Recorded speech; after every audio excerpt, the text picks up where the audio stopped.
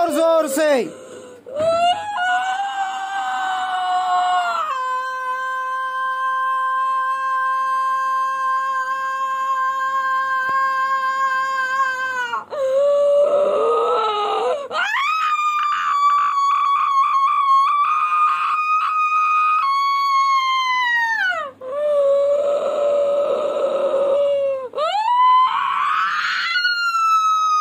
जकड़ो उसको अंदर से और तेज के साथ और आग लगाओ उसके अंदर से जकड़ के।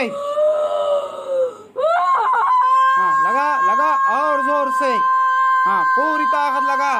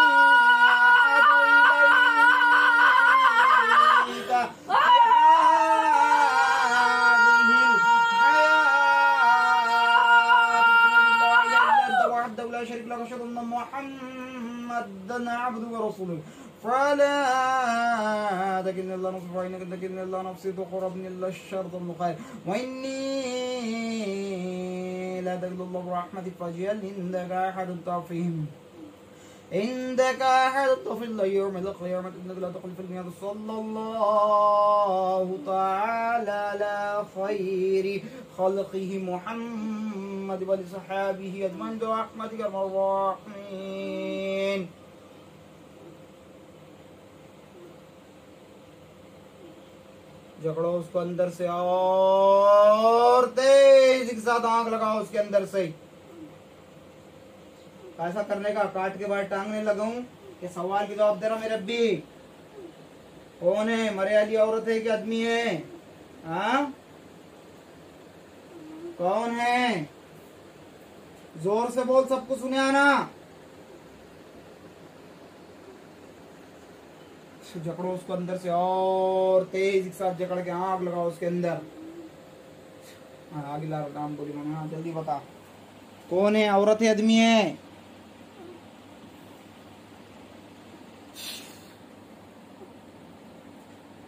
जलाओ, उसके हाथों को भी जकड़ो तेज़ी के साथ भाई। कैसा करने का, जल्दी बोल, छोड़ू क्या? पूरा जला दूँ। ज़ोर से! ज़ोर से। ज़ोर से। अभी हटाने का हुक्म दिया मनते को और ज़ोर से। हाँ। हाँ। हाँ। कहाँ से लाए थे? शमशान से कब्रस्तान से। माए जबीन पे जादू कहाँ से चलाए? माए जबीन नाम है क्या? क्या? कहाँ से जादू चलाए माए जबीन पर? शमशान से कब्रस्तान से। हाँ ज़ोर से। ज़ोर से। ज़ोर से सुने आना मुझे। ज़ोर से। ज़ोर से। छोड़ दो माफ़ी ज़ोर से। माफ़ी माफ़ी, आज़ाद माफ़ी, आज़ाद। माफ़ी। कैसा करना तुझे? छोड़ना नहीं छोड़ना? आज़ाद हाँ? छोड़ने लगा दूँ? आज़ाद करूँ? हाँ। हाँ? ज़ोर से बोल। जी हाँ। पहले मेरे सवाल की जवाब दे। ज़ोर से जवाब दे। कहाँ से जादू करे थे बच्ची पर शमशान से कब्रस्तान से? हाँ? मेरे घर से। पंखे की स्पीड कम करे छोकरे हाँ, जादू कहाँ से करे थे बच्ची पर शमशान से कब्रस्तान से? हाँ? घर से। वो बच्ची के घर से? जी। माही जबीन के? जी। अच्छा करने वाले कौन थे उसके माँ के खानदान के बाप के क्या ससुराल के? उनके ससुराल से। आ बच्ची के ससुराल से? उनके ससुराल से। और मैं जबीन का जादू चलाते वक्त क्या लेकर गए थे? कपड़ा बाल मट्टी चप्पल क्या लिए थे? उनका कपड़ा लिए थे। आ कपड़ा लिए थे उनका। कौन से कलर का था वो? कौन से कलर का था? हाँ? गुलाबी कलर का था वो कपड़ा। काय का था? शर्ट का शलवार का क्या था? ओढ़नी क्या था? हाँ, हाँ ज़ोर से। ओढ़नी थी वो। कितना टाइम हो रहा ली जाके? तीन साल हो गए हैं। अच्छा। इसको मार दो बोले थे मैं जबीन को। जी हाँ। और क्या तकलीफ़ दो बोले थे? इसको उसके परिवार से उसको दूर कर दो बोले थे। हाँ और? और उनके घर में परेशान करने के लिए और कहा था। मियाँ बीवी में लड़ाई भी लगाए थे? जी। हाँ जी। कमाई की बरकत? बहुत कम हो गई है। उड़ा दे बोले थे तुझ कर रहा था वो भी। जी। अच्छा कहाँ से जादू करे थे शमशान से कब्रस्तान से? कब्रस्तान से। कौन से गाँव का कब्रस्तान था वो? जल्दी। मानवे से। हाँ? ज़ोर से। मानवायो कब्रिस्तान। अच्छा उसके घर में और किसको खिला है क्या? शोहर को और किसको? बच्चे है क्या? सब खा चुके हैं। बेटे को बहुत तकलीफ़ थी दो साल से। बेटे का थोड़ा ठीक होने के बाद क्या होता? वो भी ऐसे बच्चे के दस ग्यारह साल का बच्चा है अभी बारह अरे बच्चे का नाम बोलो। फरहान। फरहान को क्या होता था रे? हाँ फरहान को। उसको भी खिलाए थे? जी। जादू करे थे? जी। किस ची, क्या चीज़ ले गए थे उसकी जादू करते सो वक्त? उसको खाना खिलाए थे। कौन सा खाना था वो क्या था? गोश्त। कितना टाइम हो रहा खिला के? बस इतना ही जितना मैं ज़मीन। अच्छा उसी वक्त में करे थे? और बच्ची को क्या बोल के जादू करे थे? क्या तकलीफ़ दे के मार देने का था? जी। बच्चे का क्या नाम बोले? फरहान। फरहान को मार देने का था? नहीं। हाँ? फिर क्या करने का था? सताने का था तड़पाने का था मच्छी के जैसा। जी। अच्छा। अब वो नहीं। अब उनके माँ को तकलीफ़ देने के लिए अच्छा महज अभी इनकी मुद्दत कब तक है? एंड खत्म होने के वास्ते अभी वक्त लगेगा वो बोले अच्छा अम्मास में पूनम में? शायद पूनम में। तुझे ताकत कब मिलती अम्मास को पूनम को? दोनों को। अच्छा मौका देख के मारने वाला इसका मतलब। चल तो बातो बकर तोबा तोबा दोनों हाथ उठा के मुँह पे मार के अल्डा के बोल तो बातो बा। नहीं तो आएँगा मेरे को गुस्सा तो काट के जला दूँगा। ज़ोर से मार मुँह पे। और तोबा तोबा बोल। हाँ। तो... आवाज़ लगा ज़ोर से तोबा तोबा की। तोबा तोबा। ज़ोर से। तोबा तोबा। और ज़ोर से। तोबा तोबा। ज़ोर से अल्डा के। तोबा तोबा। मारा हुआ इंसान है क्या जिन्नात की नस्ल से है? जिन्नात की नस्ल से हूँ। अच्छा। खबरस्तान में रहता था क्या? जी। चलो दोबारा परेशान नहीं करना उसको। नाम क्या था तेरा? अरे नाम क्या है? खबीज जिन्नात है। दोबारा परेशान नहीं करना पेशेंट को। जी। और दवा कितने बार खिलाई इनको पेशेंट को? बहुत बार। किस किस चीज़ में मिला के? हाँ? खाने में। कौन सा खाना था वो? वो हर तरह का खाना खाती थी। मिला मिला के देते थे। कभी खाती थी कभी नहीं खाती थी। अच्छा जादू करने की दुश्मनी क्या थी माई जबीन के ऊपर? बहुत अच्छी है वो। बोल के करे। जी। उसके बच्चे को क्यों करे फिर? क्या दुश्मनी? बच्चा भी माशाल्लाह पढ़ने में अच्छी है जबान। दोबारा दिखना नहीं मेरे को उसके आँख पे दोबारा सताना नहीं। रही बात उसकी दवा वो मैं सब निकाल दूँगा अमल के दौरान बाहर। और तू अगर आएगा और सतेगा तो तेरे छोटे छोटे टुकड़े करके बाहर टांगने लगा दूँगा। कितने बार हाजिर होता है घर पे? बहुत बार मैं कैसे दो तीन दिन पहले दो तीन दिन पहले। हम्म, अभी दो महीने से तो लगभग रोज ही है। हम्म हम्म। तोतली बात करती। फिर ऐसा शादी चिल्ला रही थी ऐसे चिल्ला के रोना चालू होता अचानक। नामा। नाम कुछ नहीं अबीश अबीश ऐसे कुछ बोलते रहते और कुछ अलग। कौन भेजा? नाम बयान करा उन्होंने इससे पहले। कुछ नहीं कुछ नहीं चल रहे अभी इसी वक्त मेरे सामने उसका नाम बयान कर किसने डाला था तुझे इसके आंग में? नहीं तो अभी मेरा जलाल देखेगा तो दो टुकड़े कर दूँगा तुझे मैं। जल्दी बयान कर उसका नाम। कौन है वो औरत है आदमी है? है। कौन है आदमी औरत है? औरत है। कौन होती इसके रिश्ते में वो? चाची होती है। नाम क्या है उसका? रुखसाना ज़ोर से। रुखसाना हम्म, चलो तोबा तोबा कर छोड़ निकल जल्दी बाहर। सिर्फ़ एक मौका दे रहा हूँ हाँ, अगर इज़्ज़त से नहीं जाएगा और तेरे को दवाई अंदर की वापिस तुझे अगर बुलाई और तू वापिस आगा तो फिर उसके बाद तेरे को पूरी जलाने की कार्रवाई करूँगा तेज़ी के साथ में। चल जा बाहर जाके खड़े हो जा छोड़ दे उसको। चल जा।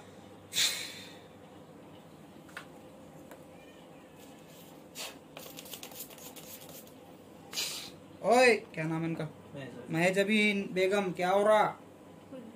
ये कौन है? वो कौन है? अच्छा अभी क्या हुआ कुछ याद है क्या? वो बातें याद हो रही है। थोड़ी थोड़ी हाँ। फिफ्टी फिफ्टी परसेंट याद आ रहा। हाँ ऐसा लग रहा है हम बात कर रहे हम्म। चलो इधर मारो कर ये जो दास्तान है तो ये खुद ब खुद वाला नहीं है। ये लाकर, उठाकर छोड़े आला है। और उठाकर जो बलाओं को छोड़ते वो बलाओं को कुछ समझता नहीं। वो बलाओं को खाली इतना समझता जो टारगेट रहता टारगेट को पूरा करना, और फिर उसको आके जहमत देना, उसको धीरे धीरे कमज़ोर करना, खोखल करना, और रिटर्न वहाँ जाकर छुप जाना, जहाँ से उनको पैदा करते जो जगह से बैठकर उठाया था, और जहाँ से भी उठाया था, वहाँ जाके फिर छुप जाते हो। और उनको दुनिया के अंदर उसके अलावा एक्स्ट्रा बातें नहीं समझती एक्स्ट्रा चीज़ें नहीं समझते। सिर्फ़ एक ही काम, जो उनका टारगेट है, उसको पूरा करना समझता उनको धीरे धीरे धीरे धीरे लाइन पे लाके बाद में ख़त्म कर देना। और कौन करा, क्या करा, क्यों करा, वो तो अंदर बहुत सारी बातें, वो जो भी उन्होंने बयान करा, नाम पूछा दिया मैंने। और ये खुद ब खुद हुए वाला नहीं है। खुद ब खुद अगर आए वाली बला रहती थी तो वो अलग रहता मामला। वो खुद ब खुद लगा तो ध्यान है, मस्तियाँ कितने भी कर दो एक मिनट में इसको पकड़ के बाहर निकाल के फेंकने लगा देता मैं रफा दफ़ा। और बाद में वो रिटर्न अंदर नहीं आता। क्यों नहीं आता रिटर्न अंदर? क्योंकि वो खुद ब खुद वाला इसलिए उसको मार के भगा दिए कि फटके पड़ने के बाद वो रिटर्न नहीं आता और बोलता, नहीं, मैं कहीं कुछ हूँ मार पड़ रही। और जो खिलाए वाला मामला रहता तो कुछ पार्ट अंदर अटका दिया रहता खिलाकर। तो वो क्या करता? वहाँ से उठता और ये इधर जो खिलाए वाला है तो खिलाए वाला लोकचिमक मखनातीस लोहे को कैसा खींचता, वैसा वो दवा उसको खींच के बुलाती। वो आता, कमज़ोर करता रिटर्न भाग जाता। पाइन दे उनको देते हैं।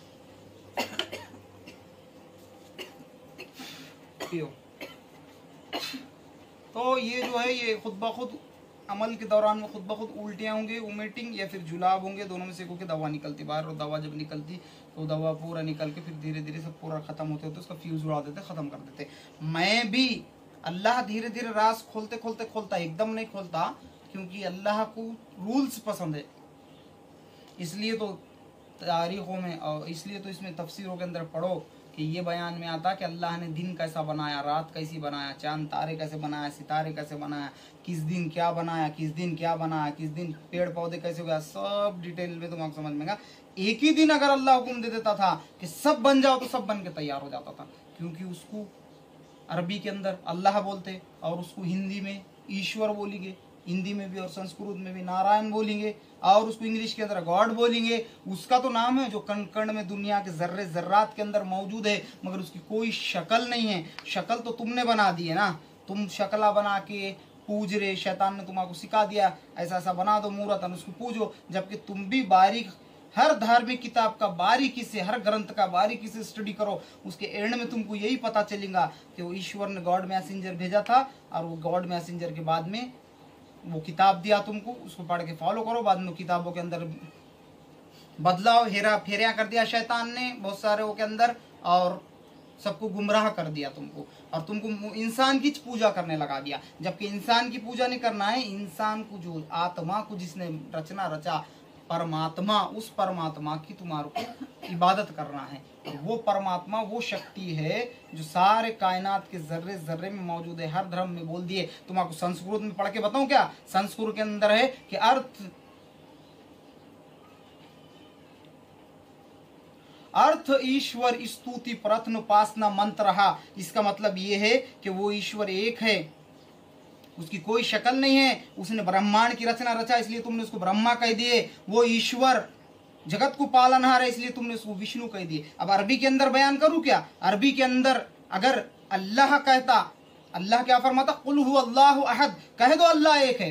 कह दो वो ईश्वर एक है। कह दो वो खुदा एक है। कह दो वो गॉड एक है। एक है, उसकी कोई शक्ल नहीं। और मैं मेरे तरफ़ से बोलूँ अरबी में, अशहद अल्लाह नहीं कोई माबूद सिवाय उसके, और उसकी कोई शक्ल नहीं। और अरबी, तुम्हारे संस्कृत के अंदर अर्थ ईश्वर स्तुति, प्रत्न उपासना मंत्र रहा क्या मतलब हो रहा? समझो और समझ के करो, तुम आजकल जो गालियाँ दे रहे, आजकल तुम बोल रहे ना, अरबी का वर्ड्स पकड़ के माज अल्लाह अल्लाह के नाम पे कुछ भी बातें बयान कर दे रहे। अरे अखल के अंधे, उसको तो फिर ईश्वर बोलेंगे, उसको तो नारायण बोलेंगे, उसको तो भगवान, उसको तो भगवान नहीं, उसको तो ईश्वर, उसको अल्लाह, उसको गॉड और उर्दू में खुदा बोलेंगे। तो वो ही तो है ना फिर ईश्वर। और तुम है कि बड़े बेवकूफ़, बहुत सारे बातें अगर बाल से बारीक तुम्हारा थेरीज पढ़ाऊँगा तो बहुत टाइम लग जाएगा, बहुत डिफिनेशन से। मगर मैं तुमको ये सब बातें इसलिए बयान करता कि तुम आजकल मैंने बहुत सारे वीडियोस ऐसे भी आ रहे हैं सोशल मीडिया के ऊपर कि तुम अपने ईश्वर को बुरा बोल रहे अक्ल है तुम्हारे को? उसको हर धर्म के अंदर अलग अलग नाम से पुकारे अल्लाह है। और तुम वो, तुम्हारे दो चार किताबें पढ़कर उल्लू बनाने वाले लोग तुम्हारे उल्लू बनाते रहे और तुम्हारे ईश्वर को बुरा बोलने लगाते रहे। और तुम ईश्वर को अब इंग्लिश में मैं अगर गॉड को बुरा बोलूँगा तो वही तो नाम है ना उसका, अल्लाह से ना, अरबी में। और हिंदी में अगर बोलूँगा तो ईश्वर, और संस्कृत में ईश्वर और नारायण। और अगर क्या बोलते तो तुम्हारे उर्दू में बोलूँगा तो खुदा। तो फिर बुरा किसको बोला जा रहा? फिर है अक्ल आ रही तुम्हारे समझ में आ रहा? तो इसलिए जबान पे लगाम रखो अपने, तुम्हारा बेवकूफ़ बनाकर हर समाज के अंदर कंटक, बदमाश लोग रहते हैं उन तुम्हारे आपस में लड़ा रहे और लड़ाकर तुम्हारी तकदीर, तुम्हारा फ्यूचर बर्बाद कर दे रहे। तुम अपने ईश्वर को बुरा बोल रहे हो तो फिर तुम्हारे पर ईश्वर अगर नाराज़ हो जाएगा तो फिर तुम्हारे को कहीं पर भी जाओ तुम, कोई तुमको राइट नहीं कर सकेगा, कोई तुमको दुरुस्त नहीं कर सकेगा। रही बात ये जो बलाएँ हैं, ये खुद ब खुद कहाँ से आए वाला नहीं आए वाला रहता तो उसको एक मिनट में खत्म रफा दफ़ा करने लगा था तो मैं ये अंदर बैठेली जो दवा थी वो खींच कर उसको बुलाती और मैं भी ये बातों को नहीं मानता था, पहले उन्हें रास खोलते खोलते खोलता। पहले मैं समझता था कि हाँ कुरान के अंदर बता दिया कि जिन्नात है, शैतान है, जिन और इंस को इबादत के लिए बनाए, अल्लाह फरमाता, और तुम कहाँ तक भी भागो जिन और इंसान सूर्य रहमान के अंदर तुम जहाँ पर भी खुदा की रियासत छोड़ के निकल जाओ, तुम कहाँ पर भी जाएँगे तो वहीं खुदा को ही सुल्तान को आओगे हर तरफ़। तो वो बयान कर दिया, उसके बाद जादू का ज़िक्र आ गया कि जादू है, मगर जादू कितने पार्ट है, कैसे बढ़ते, क्या है, वो तुमको नहीं पता। खाली जैसा कि एक मिसाल के तौर पर तुम बोलूँगा कि इल्म इल्म यानी कि कोई समझो, स्टडी, पढ़ाई अब पढ़ाइयों के अंदर कितने पढ़ाया है? हज़ारों किस्म के पढ़ाया हैं। तुम्हारे डॉक्टरी की पढ़ाई है, डॉक्टरों में कितने किस्म के डॉक्टर हैं? उसके बाद में तुम्हारे इंजीनियर है, वकील है, इसकी पढ़ाई है, उसकी पढ़ाई है, चपरासी की पढ़ाई हज़ारों पार्ट्स उसके अंदर बढ़ जाते, पढ़ाई के अंदर। तो वैसा जादू एक नाम है और जादू के अंदर हज़ारों पार्ट बढ़ते, जादू चलाने के, जादू के थियरीज जादू के पार्ट्स बहुत अलग अलग रहते हैं। और वहाँ तक, और जादू टोना किसी को सीखने भी देते नहीं, और किसी को करने देते भी नहीं। जादू सीखने वाले तो बहुत बदमाश लोग रहते हैं, और हटाने वाले तो अल्लाह ने चुनिंदा बंदे उसके रखे वाले उनके ज़रिए फैज देता, खुद ज़मीन पे आके फैज देता और उनको उनके तरीके से काटना पड़ता। बहुत सारे बातें हैं और वक्त कम है, इसलिए मैं तुमको इन शॉर्ट में सब बातें समझा दे रहा हूँ। तो बार बार मैं यही कहूँगा तुम लोगों से कि इबादत की राह को मजबूती से थामो। अव्वल व आखिर किताब कुरान शरीफ, अल्लाह का कलाम है वो, और उसको तुम पढ़ेंगे तो फ़ायदा हासिल होगा तुम आपको हिंदू, मुसलमान, सिख, ईसाई, हर कोई पढ़ सकता, तुम सब पढ़ो और वो पढ़ने की बरकत से अल्लाह तुम्हारा दीन की और दुनिया की दोनों दौलत से नवाज़ देगा। अगर तुम का हिंदू भी है मुसलमान भी है सिख भी है ईसाई और काफिना भी अगर कोई भी जात का धर्म का इंसान भी पढ़ेगा तो उसको पढ़ने के बाद उसको बहुत सारे इनामाती मिलने वाले ना फैजिज मिलने वाला है। एक तो उसको दुनिया भी सवर जाएँगी दीन की दौलत भी मिलेंगी दुनिया की भी दौलत से अल्लाह नमाज़ देंगे। इसलिए कहने सुनने से ज़्यादा अल्लाह सबको अमल करने की तौफीक अता फरमाए। कहाँ से आए थे? ज़ोर से बोलो। पुणे से। आए हम्म। और ये जी- बलाएँ रहते, शैतान रहते, मैं अल्लाह से दुआ करूँगा कि अल्लाह इससे हर मोमिन बंदे की और हर इंसान की हिफाजत करे। क्यों करे? ये जिसके भी घर में अगर घुस जाते तो उसको बहुत परेशान कर देते। इकोनॉमिक कंडीशन से, माशी हालात से कमज़ोर कर देते, पैसा खिसका देते उसके पास का पूरा और लास्ट में उनके जाना ले लेते। ये सब मैं रात दिन देखते बटा हूँ और तुमको हिदायत मिली, फैज अल्लाह की तरफ़ से मिलना है तो तुम फौरी अगर पहुँचे कहीं अल्लाह वालों के पे वहाँ तुम्हारा फैज दे देता अल्लाह। और अगर नहीं तो फिर जो ना मांगे सीख, फिर वो दर दर मांगे भीख। और मुसलमानों, याद रखो, दरगाहों पे जाना शिरक नहीं है, चर्च में जाना शिरक है, मंदिरों में चढ़ावे चढ़ाना शिरक है। इस शिरक की अल्लाह माफ़ी नहीं करने वाला है। अल्लाह ने फरमा दिया, सब माफ़ करूँगा, हर गुना माफ़ करूँगा, सगीरा, कबीरा, मगर शिरक किसी कीमत में माफ़ नहीं किया जाएगा तुम्हारा। और शिरक का मतलब है अल्लाह के साथ किसी को शरीक करना। अल्लाह के साथ किसी को शरीक करने से परहेज करो। कोई औकात नहीं है शैतान और जिन्नातों की। और बलाओं की, वबाओं की सबकी कोई हैसियत नहीं अल्लाह के सामने। मैं इसलिए बयान कर रहा हूँ कि मैंने देखा हूँ हैदराबाद के तरफ़ का पॉपुलेशन नरसिम्हा नाम का कोई जिन शैतान है, उसकी लिए हल्दी चढ़ावा करते, शिरक है ये शिरक है। दरगाह पे जाकर फूल और चादर डालना शिरक नहीं है, शरीयत को बारीकी से पढ़ो तो समझ में आएगा दरगाह पे जाओ, बोले अल्लाह है, और जाकर वहाँ बैठो, क्योंकि वहाँ तुमको बैठने से अल्लाह की रहमत बरसती उनके ऊपर, कुछ छेड़े तुम पे भी पड़ेंगे।